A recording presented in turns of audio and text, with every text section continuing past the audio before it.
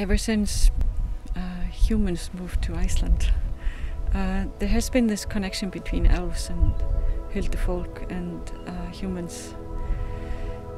And this is a land we share.